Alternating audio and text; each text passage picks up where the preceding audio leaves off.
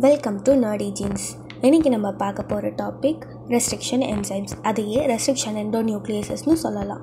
அது என்ன endo nucleases Exo nucleases சிம்பிளாக சொல்லணும்னா எண்டோநியூக்ளியஸஸ்லாம் நியூக்ளிக் ஆசிட்குள்ளே இருக்க பாஸ்போடைஎஸ்டர் பாண்ட்ஸு க்ளீவ் பண்ணுற என்சைம்ஸ் அதே எக்ஸோநியூக்ளியஸஸ்னால் டிஎன்ஏ இல்லை ஆர்என்ஏவோட என்ஸில் இருந்து ஒரு ஒரு நியூக்ளியோடைட்ஸை ரிமூவ் பண்ணுற enzymes so endo nucleases middle cut பண்ணோம்.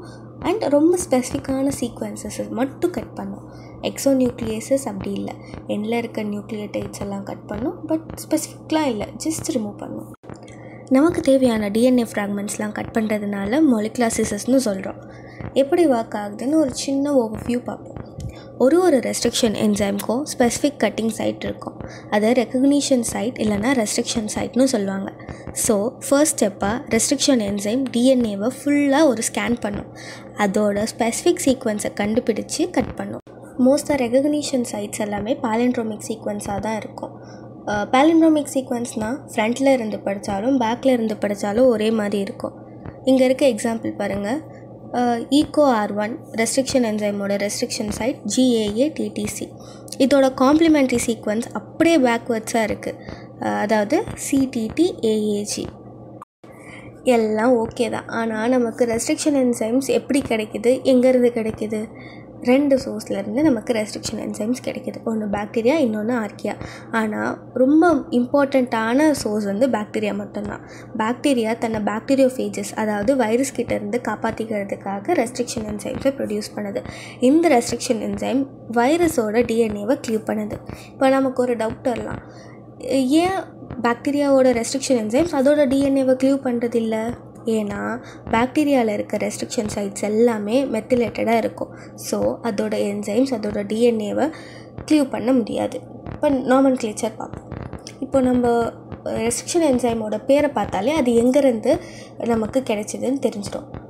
எக்ஸாம்பிளுக்கு ஈகோ ஆர் ஒன் ஈகோன்றது ஈகோலையிலேருந்து e ஆர் வந்து ஈகோலையோட ஸ்ட்ரெயின் ஒன்னுன்றது அந்த ஈகோலையிலேருந்து கிடைச்ச முதல் ரெஸ்ட்ரிக்ஷன் என்சைம் இது தான் ரெஸ்ட்ரிக்ஷன் என்சைம்ஸோட டைப்ஸ் பார்ப்போம். இந்த டைப்ஸை அதோட ஃபங்க்ஷன் பேஸ் பண்ணி கிளாஸிஃபை பண்ணியிருக்காங்க. Type one and type three restriction என்சைமோ அதோட ரெஸ்ட்ரிக்ஷன் சைட்லேருந்து தள்ளி தான் க்ளீவ் பண்ணோம். ஸோ ரெண்டுத்துக்கும் டிஃப்ரென்ஸ் என்னென்னா டைப் ஒன் ரொம்ப நிறைய பேஸ் பேஸ் தள்ளி அதாவது ஒரு தௌசண்ட் பேஸ் பேஸ் தள்ளி தான் கட் பண்ணும். ஆனால் டைப் த்ரீ அதோட ரெஸ்ட்ரிக்ஷன் சைட்லேருந்து ஒரு twenty to thirty base pairs தள்ளி க்ளீவ் பண்ணும். Type ஒன்க்கு example Eco K one type த்ரீக்கு example Eco B fifteen one type two restriction enzymes பார்த்தோன்னா அதோட ரெஸ்ட்ரிக்ஷன் சைட்லேயே க்ளீவ் பண்ணும். ரொம்ப ஸ்பெசிஃபிக்காக ரெகனைஸ் பண்ணி கட் பண்ணும். டைப் டூ ரெஸ்ட்ரிக்ஷன் என்சைம்க்கு தான் நிறைய பயோடெக்னாலஜிக்கல் அப்ளிகேஷன்ஸ் இருக்குது எக்ஸாம்பிள் பார்த்தோன்னா Eco R one Hin three பேமெச் ஒன்னு நிறைய சொல்லலாம். ரெஸ்ட்ரிக்ஷன் என்சைம்ஸ் கட் பண்ணுற ஃபேஷன் பேஸ் பண்ணி டூ டைப்ஸாக பிரிக்கலாம். ஒன்று பிளண்ட் எண்ட் கட்டர்ஸ் இன்னொன்று கோஹெசிவ் எண்ட் கட்டர்ஸ் இல்லை சிக்கி எண்ட் கட்டர்ஸ்னு சொல்லலாம். பிளண்ட் எண்ட் ப்ரொடியூஸ் பண்ணுறதுனால பிளண்ட் எண்ட் கட்டர்ஸ்னு சொல்கிறோம் எக்ஸாம்பிளுக்கு ஸ்மாவன் இதை பார்த்தீங்கன்னா கட் பண்ண பிறகும் டபுள் ஸ்டாண்டர்ட் என்ஸோடு இருக்கும். அண்ட் ஆல்சோ எட்ஜஸ் ஈவனாகவும் இருக்கும். ஆனால் sticky and cutters single standard hanging DNA produce பண்ணும்.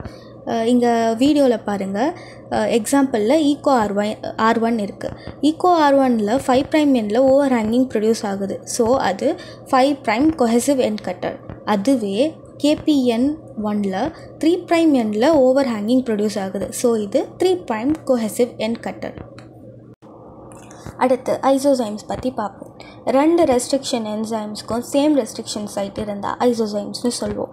ஐசோசைம்ஸையே ரெண்டாக பிரிக்கலாம். ஒன்று ஐசோசைசோமர் இன்னொன்று நியோசைசோமர் ஐசோசைசோமர்னால் ரெண்டு ரெஸ்ட்ரிக்ஷன் என்சைம்க்கும் சேம் ரெஸ்ட்ரிக்ஷன் சைட்டும் இருக்கும். அதே மாதிரி சேம் ஃபேஷன்லேயே கட் பண்ணுவோம். இப்போது எக்ஸாம்பிள் பாருங்கள் SPH one and BBU one இது ரெண்டுத்துக்குமே சேம் ரெஸ்ட்ரிக்ஷன் சைட் தான் இருக்குது அதாவது சிஜி டிஏ சிஜி இது கரெக்டாக சிக்கும் ஜிக்கும் நடுவில் க்ளீவ் பண்ணுது. இதோட ப்ராடக்ட்ஸ் ரெண்டுமே வந்து த்ரீ ப்ரைம் ஸ்டிக்கி என்ஸோட தான் ப்ரொடியூஸ் ஆகும். ஸோ ரெண்டு க்ரைட்டீரியாவையும் இது ஃபுல்ஃபில் பண்ணுது. ஒன்று ரெஸ்ட்ரிக்ஷன் சைட்டும் சேமியா சேமாக இருக்குது அண்ட் ஆல்சோ அதோட கட்டிங் ஃபேஷன் சேமாக இருக்குது ஸோ இது ரெண்டுமே isos isomer and then neos isomers பற்றி பார்ப்போம். ரெண்டு ரெஸ்ட்ரிக்ஷன் என்சைமுக்கும் ஒரே ரெஸ்ட்ரிக்ஷன் சைட்டும் இருக்கும். அண்ட் ஆல்சோ அதோட கட்டிங் ஃபேஷன் ஒரே மாதிரி இருக்காது டிஃப்ரெண்ட்டாக இருக்கும்.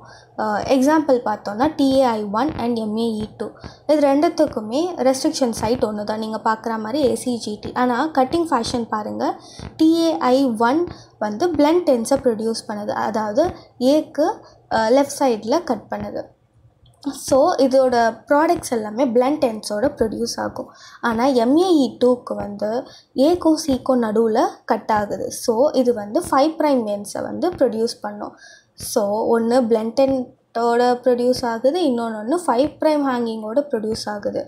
ஆனால் ரெண்டுத்துக்கும் சேம் ரெஸ்ட்ரிக்ஷன் சைட் ஸோ இது நியோசைசோமர் இப்போ க்ளோன் பண்ணுறோம்னு வச்சுப்போம்.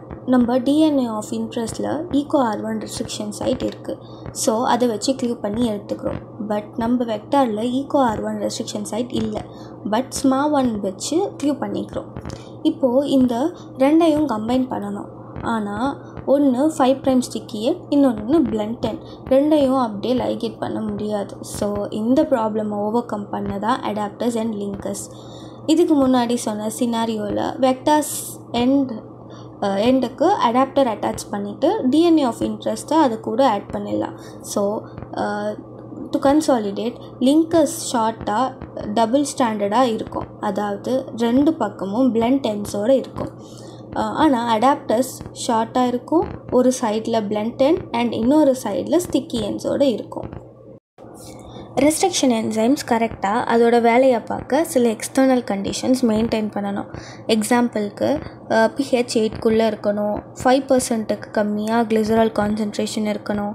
Enzyme concentration one milligram of டிஎன்ஏக்கு thousand units விட அதிகமாக இருக்கக்கூடாது. அதுக்கப்புறம் அயானிக் ஸ்ட்ரென்த் எவ்வளோ இருக்கணும்னெல்லாம் நிறைய கண்டிஷன்ஸ் இருக்குது இந்த ஐடியலான கண்டிஷன்ஸ்லாம் நம்ம ப்ரொவைட் பண்ணலன்னா நம்மளோட என்சைம் அது இஷ்டத்துக்கு எங்கே வேணும்னாலும் டிஎன்ஏவை கட் பண்ணிடும். இதை தான் ஸ்டார் ஆக்டிவிட்டின்னு சொல்லுவாங்க.